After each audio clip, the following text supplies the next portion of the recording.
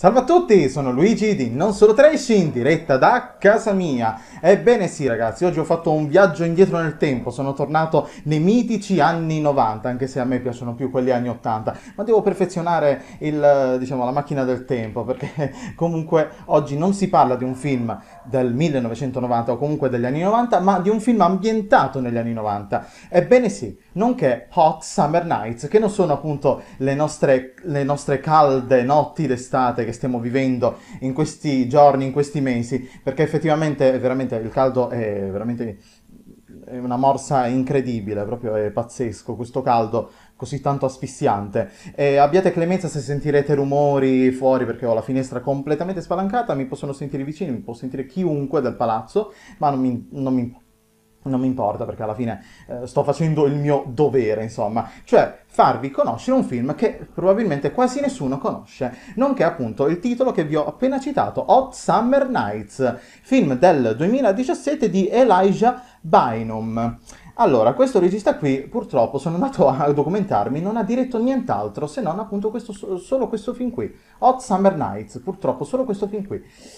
Tra l'altro è stato presentato al South by Southwest um, Festival, quindi ha vinto qualche premio. È un film che, tra l'altro, lo dico fin da subito per chi fosse interessato a recuperarselo,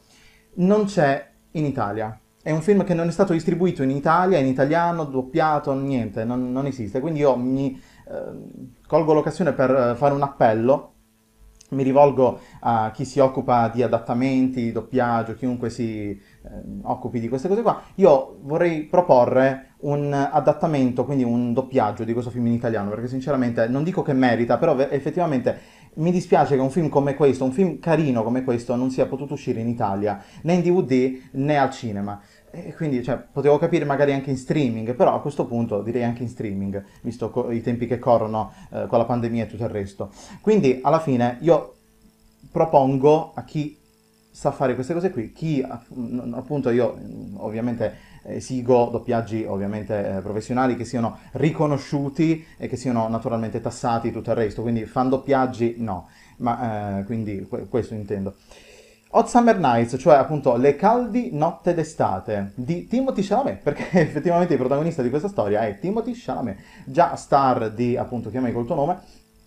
che naturalmente realizzerà eh, lo stesso anno, nel 2017, però c'è da dire che questo Hot Summer Nights è uscito, cioè o meglio è stato girato, voglio dire, nel 2015, ha avuto dei problemi di distribuzione fino al 2017 che è stato distribuito appunto ad agosto. E naturalmente c'è da dire che eh, questo oh, film alla fine non è questo gran capolavoro, ecco, voglio subito mettere le mani avanti. Non è un capolavoro, di che genere è? È un genere drammatico barra commedia, non tanto commedia, però è più un film drammatico direi. Eh, dal, sinceramente non saprei come catalogarlo come genere effettivamente, io direi più prevalentemente drammatico come genere, però effettivamente c'è Timothy Chalamet che interpreta questo adolescente, no? Su, sui 16-15 anni, 17 anni, insomma, que- que- quell'età lì, che eh, va, ehm, dopo la morte del padre, viene spedito da sua zia a lavorare, eh, o comunque a passare l'estate, a Cape Cod, tutto questo ambientato nel 1991, e appunto nello stesso periodo, perché appunto, per chi appunto sa che cosa è successo nel 1991, in estate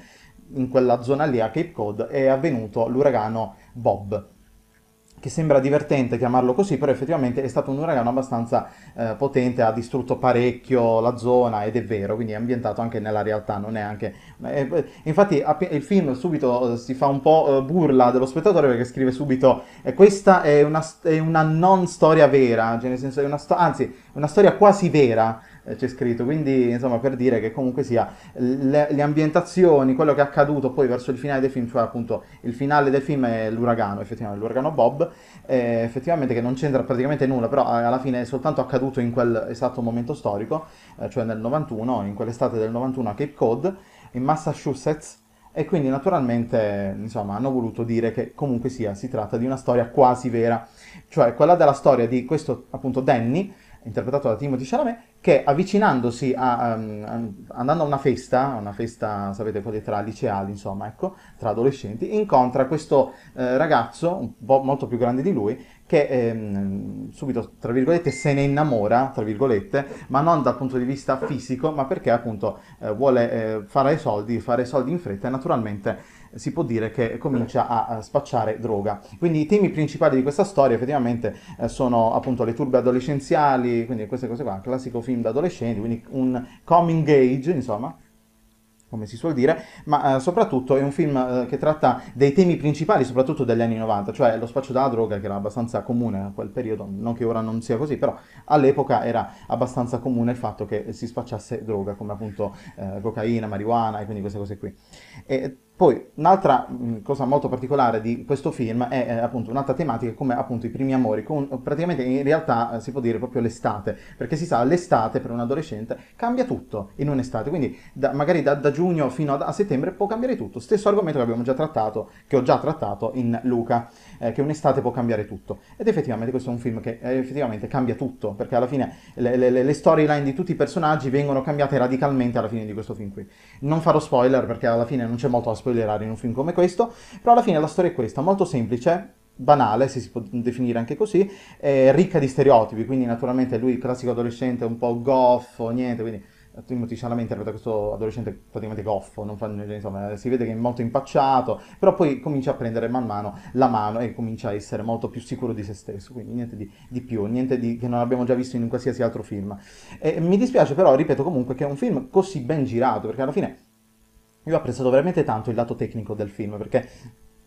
ha una regia molto retro, una fotografia, una regia molto retro eh, c'è da dire la verità, è molto saturata, una fotografia molto saturata, ricca di contrasti, tipica dei film anni 90, quindi se- sembra proprio uscito dagli anni 90, anche come stile di montaggio, come tutto, insomma, è un film molto particolare, con movimenti di macchina sempre molto particolari, articolati, eh, molto rapidi, alla, tra virgolette Brian De Palma, così alla scorsese, non per paragonarlo, però insomma per farvi capire più o meno che eh, insomma si, si, sono ispirati evidentemente a quello stile lì, per non parlare del fatto che essendo ambientato nel 91 ci sono un sacco di riferimenti a questo drive-in famosissimo che a Cape Cod c'era e poi naturalmente è stato distrutto dal, eh, dall'uragano Bob, questo famoso drive-in dove eh, proiettavano continuamente Terminator 2 il giorno del giudizio perché era quello l'anno in cui era uscito, oppure comunque il, il laureato o adesso non mi ricordo, forse anche la stangata, sì, veniva proiettato anche la stangata, facevano la serata doppia, eh, il bello dei drive-in, insomma, ecco. Quindi è un, un film molto retro, quindi eh, è diciamo molto nostalgico, è un film nostalgico degli anni 90. Finalmente un film nostalgico degli anni 90 e non degli anni 80.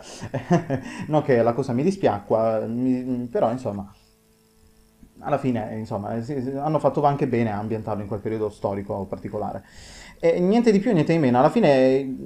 la caratterizzazione dei personaggi sono abbastanza, come dire, i personaggi sono abbastanza, non dico piatti, però quasi bidimensionali, non c'è, mo- non c'è molto spessore nei loro personaggi. Ovviamente ci si affeziona più al protagonista perché è lui il protagonista della storia, cioè Chalamet, il personaggio di Danny. Però um, i coprotagonisti, cioè i comprimari, anche appunto interpretato da Alex Ro- Ro- Rox, nonché appunto um, Hunter, il personaggio di Hunter, lo spacciatore, insomma, o comunque eh, Micah Morrow che interpreta appunto eh, Michaela, eh, diciamo che questi sono i tre personaggi protagonisti assoluti della storia. Effettivamente sì, ci si, ci si affeziona, ok, però alla fine non sono così tanto carismatici, purtroppo hanno poco carisma i loro personaggi devo dire la verità, tranne appunto quello del protagonista, naturalmente, che hanno fa- probabilmente hanno scritto leggermente meglio, anche se anche lui è un pochino privo di spessore, non, non, non, ho visto questa grande caratterizzazione, non è così tanto carismatico come personaggio come gli altri d'altronde. Ci sono macchiette come appunto il personaggio del, Thomas, interpretato da Thomas Jane, che interpreta questo sceriffo, vicetenente, insomma una roba del genere, che proprio parla con la voce roca, vestito da poliziotto, insomma il classico poliziotto di cui devi avere paura. E naturalmente William Fichtner che interpreta questo spacciatore, questo um, signore della droga, no? che è so- molto sopra le righe, che um, ha, ha, il suo tizio di fiducia e la sua donna che suona al pianoforte, addestrata, che lui appena non vuole che, cioè appena si infastidisce, dice alla ragazza di smettere di suonare, però in realtà, eh, siccome la ragazza non sente, eh, lui spara in aria eh, per farla smettere addirittura. Vedete quanto sono esagerati i personaggi in questo film qui. Eh, quindi insomma per farvi capire più o meno quello che accade in questo film qui. Ecco. Quindi alla fine il, il, il, la sceneggiatura del film non è questa grande novità alla fine, non, è, non, c'è niente di originale, non v'è nulla di originale, però alla fine è, mm, è, un racconto, tra virgolette, di formazione, per non parlare del fatto che è narrato anche in terza persona, perché c'è questo personaggio che non si sa chi è, è una narratrice, è una voce femminile, che racconta della vicenda che è avvenuta nel 1991, nell'estate nel 1991 a Cape Cod, quindi niente di più, niente di meno. Alla fine questo è il film, Hot Summer Nights. Insomma, montaggio e ritmo, devo dire la verità, alla prima visione, quando l'ho visto la prima volta, l'ho trovato molto lento. Alla seconda volta, quando l'ho visto la seconda volta, ho notato questo montaggio molto più serrato, molto più coinvolgente e un film abbastanza, trovato, l'ho trovato un film abbastanza scorrevole, soprattutto più scorrevole della prima volta che l'ho visto. Ehm, ed effettivamente è un film che riesce a intrattenere, dura quasi sulle due ore, però riesce a intrattenere abbastanza, ve lo consiglio, ve lo consiglio. E naturalmente ci sono questi jump cut, no? I jump cut sono i tagli che, che faccio io ogni tanto quando faccio i video, no? Che quando mi sbaglio a parlare taglio e, e inizio direttamente a parlare con la, la, frase giusta, insomma, ecco. Questo è un jump cut, insomma, ecco. E quindi queste due ore scorrono abbastanza rapidamente alla seconda visione, perché la prima non lo so perché l'ho trovato abbastanza lento come film. Mm, non c'è molto da dire, secondo me, di questo Hot Summer Nights, è curato alla perfezione, ho trovato bellissimi titoli di testa ehm, in stile VHS, come state vedendo questa recensione non a caso, e ho deciso di farla in questo modo proprio perché eh, volevo richiamare i, il, diciamo, il, il, la nostalgia agli anni 90, no? le VHS, vederla, cioè per vedere un video, insomma all'epoca non c'era mica YouTube naturalmente, prendevi la VHS, ce la ficcavi nel videoregistratore e poi la guardavi sul televisore a tubo catodico naturalmente ed è meraviglioso, io adoro quel periodo lì anche perché comunque io l'ho vissuto, cioè io ho visto il cambiamento con le televisioni a schermo piatto poi giustamente, eh, essendo tra virgolette un millennials, perché in realtà più quasi, lo sono quasi diciamo, Mancavano, mancava poco per esserlo. E, ehm, quindi alla fine c'è da dire che anche le musiche, purtroppo, la colonna sonora proprio originale del film eh, l'ho trovata abbastanza anonima, però effettivamente in compenso la musica extra-diegetica, cioè per chi non lo sapesse, la musica che è, è nel film, insomma, quella che sentono comunque in radio, che eh, serve a narrare la, la, la, la scena, eh, l'ho trovata abbastanza buona perché comunque ci sono pezzi come appunto Space Oddity di, di, di David Bowie, per esempio, questo è un esempio, c'è una scena meravigliosa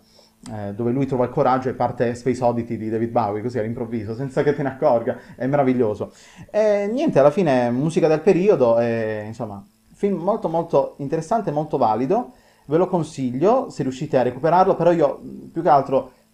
vorrei ribadire che sicuramente sarebbe stato molto meglio se l'avessi visto in italiano, non perché voglia sminuire il lavoro fatto da questo regista o comunque dagli attori in presa diretta lì, quindi naturalmente gli attori lì appunto che parlano in originale, però insomma potete ben immaginare che secondo me se avessero fatto il film, se avessero distribuito il film in italiano, se avessero fatto un doppiaggio di questo film qui sicuramente io l'avrei comprato in DVD o Blu-ray, quindi sicuramente eh, ci sarebbero stati eh, dei, dei, dei guadagni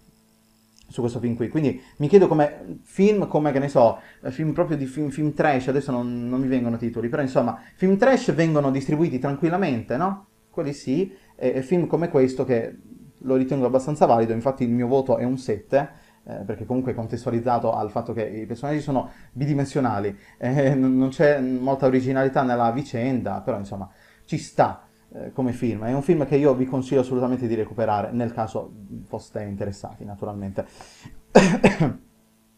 Quindi non credo ci sia molto altro da dire su Hot Summer Nights, se non cerchiamo di portarlo in Italia, cerchiamo di eh, far arrivare questo film a chi di dovere e che eh, appunto possa doppiarlo in italiano. Quindi io, eh, niente, ho fatto, mia, eh, ho fatto, il mio appello a chi di dovere, chi vuole ascoltarlo, ben venga, perché veramente eh, io l'avrei sicuramente acquistato, però sicuramente non si può eh, esaudire il desiderio di una persona perché sono soltanto uno a richiedere un film come questo, però insomma io faccio il mio lavoro su YouTube, cioè quello di farvi scoprire film che non conoscete. Probabilmente qualcuno, proprio penso in Italia forse una decina di persone lo conosceranno questo film qua, però almeno così grazie a me possono conoscerlo un po' tutti. Hot Summer Nights di Elijah Bynum con Timothy Chalamet, ve lo consiglio assolutamente.